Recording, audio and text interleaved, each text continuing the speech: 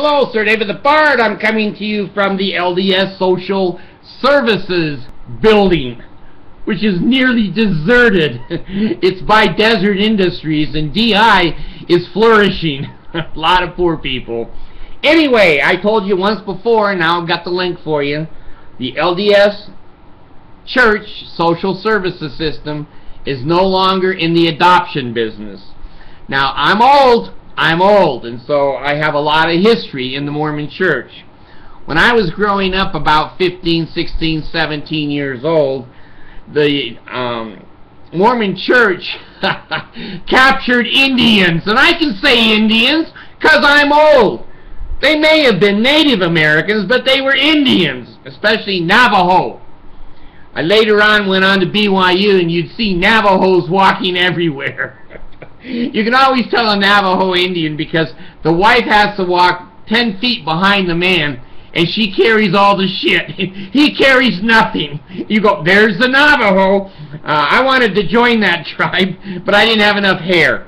Anyway, I used to drive uh, for Utah Valley Transit, which is a bus company that serves BYU. And uh, one day we were assigned to transport Indians. I learned so much in one day about the Native American way. We drove over to the dorms. They're torn down now, Deseret Towers. And uh, we were waiting for the Indians to come out and load on the bus. Usually five or six buses would show up and people would just, you know, come to the curb and jump on the bus. Not one damn soul came out. all the drivers are looking at each other and go, were they all translated? Where the hell are the Indians? Did Custer show up? anyway, we were there for two hours on the curb before the first one came out. And we said to her, where's the rest of your people? She says, well, they're getting up, but they've been in bed. it's like 11.30. Anyway, we took the uh, Indians when we finally rounded them up not to the reservation, but over to uh, Salt Lake City. And we dumped them in Salt Lake City. They're supposed to have uh, a cultural experience.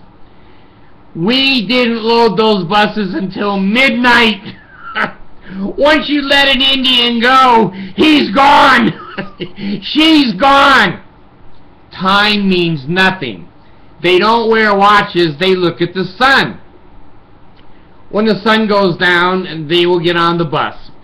So anyway, I've had a little bit of experience with the Indians. Well, back in those days, the Mormon church would capture the Indians and say they're Lamanites, they're special people, they're dark-skinned, but and they're loathsome, and, and they sat on the fence like the blacks did, and if they read the Book of Mormon, they'll turn white.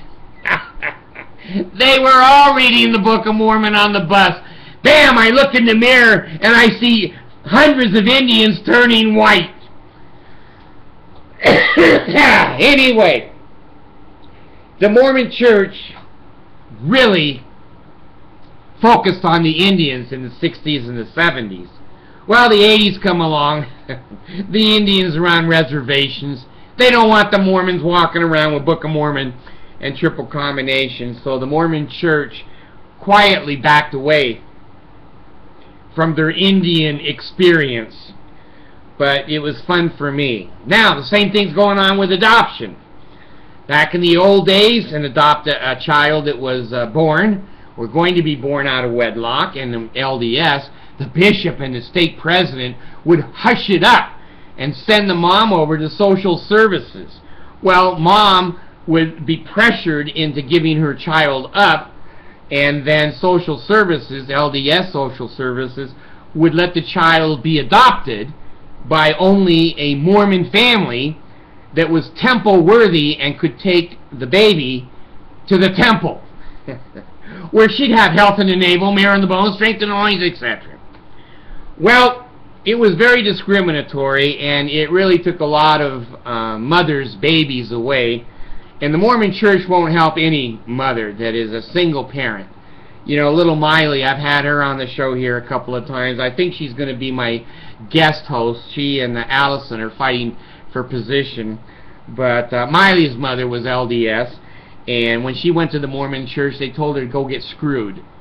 wait a minute, wait a minute. She said, I already did! I already did! And they said, well, it's not good enough. We're going to screw you again.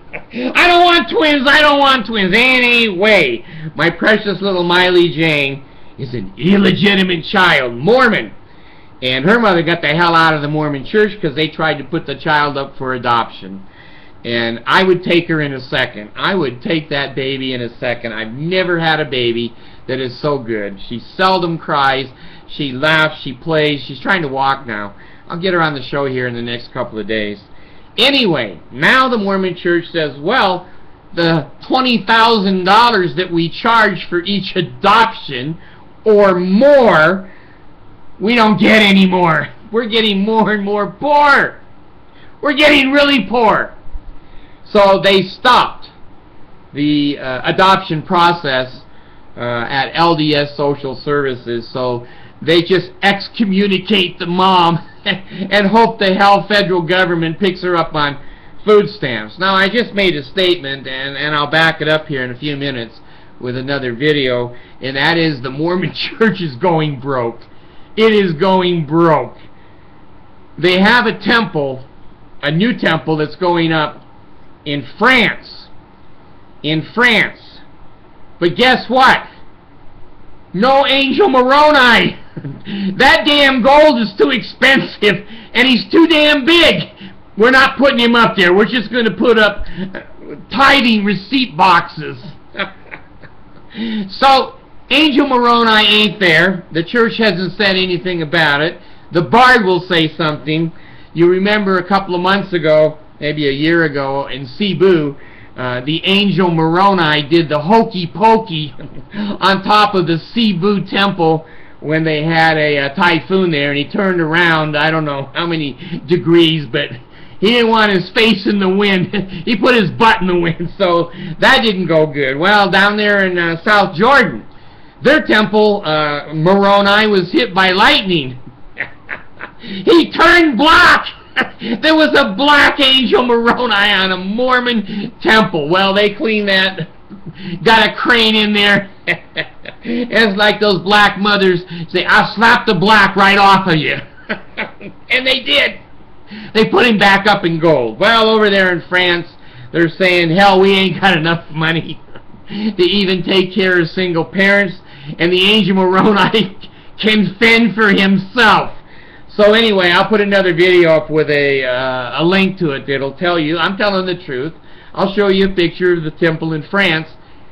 The angel is gone. He did not have health in the navel, marrow in the bones, strength in the loins, and in the sinews. Power and priesthood be upon me and upon my posterity through all generations of time and throughout all eternity. The bard is gone.